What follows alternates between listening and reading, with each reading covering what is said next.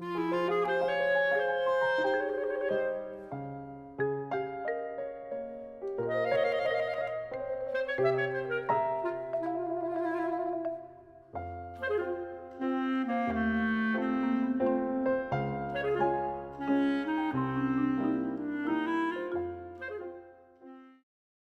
had a great job there. I actually made more money than my husband did, so it was, it felt really good. And then I had my son, and I've been a stay-at-home mom since. You know, I went from this great paying job, working full-time, to full-time being a mommy, and I have no regrets. Loved it. Loved staying home raising my kids. Loved being able to go on all the field trips and, you know, be involved, drag them all over the country, dragging eight little boys to a basketball game today, and you know, so no regret that I got to stay home and raise my boys. I wouldn't have been able to stay home and make all the memories I'm making with my boys, because right now I'm all about making the memories with my kids and, you know, embedding in them so they'll rem always remember me, you know, and all the things I did with them. And yeah, if I had a job, I wouldn't be able to be home, you know, when they got home from school. I wouldn't be able to be volunteering in their classes as much as I do. And so, it, I mean, God had a plan for me, I guess.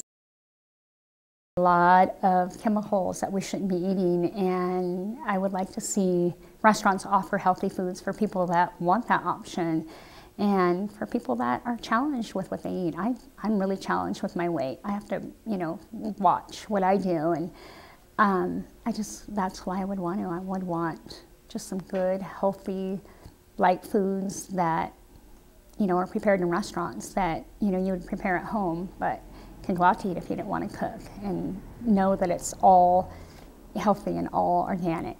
But that's what I would want to do, and that's why is you know I'm not convinced totally, but I'm pretty positive that's why people get cancer is the food we eat and the things we're exposed to.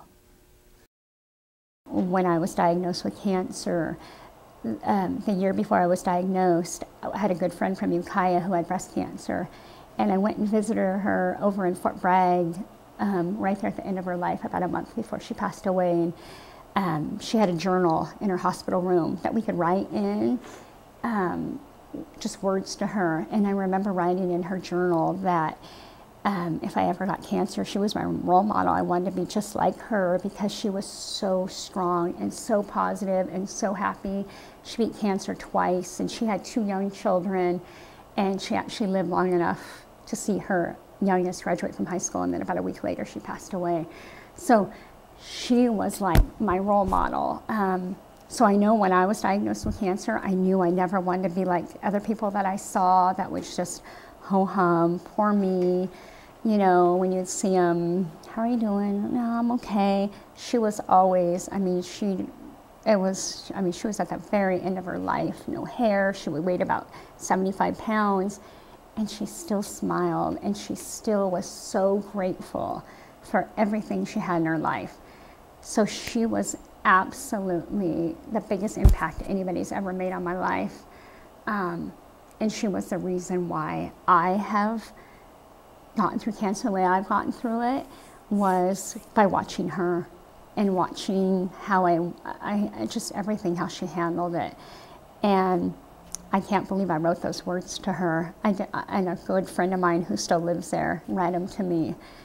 And it was like, did I bring this on to myself? Did I make myself get cancer by writing that to her and wanting to be like her? I don't know, but she was someone who made, had a, a huge impact on my life and how I wanted to get through cancer. To survive cancer and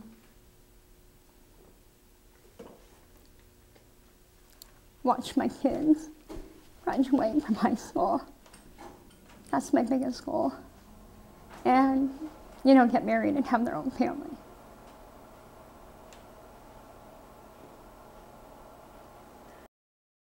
special wisdom. I don't know, you know, don't do drugs, don't drink, you know, eat healthy, keep a healthy lifestyle, go to college, definitely go to college or an IT school, something. Don't just get out of high school and, which I highly doubt any, I can't imagine any of the three of you will, but yeah, you know, if I can, and if you're faced with a challenge like what I've been faced with, take it and run with it, learn from it, help others, you know, be a role model to others with it. That's what I'm hoping that people say what I said to Mary when she was diagnosed. I hope that, you know, you can get positive stuff out of bad things. I'm Kelsey Seibert. I'm Zach Regie. I'm Amanda Smith.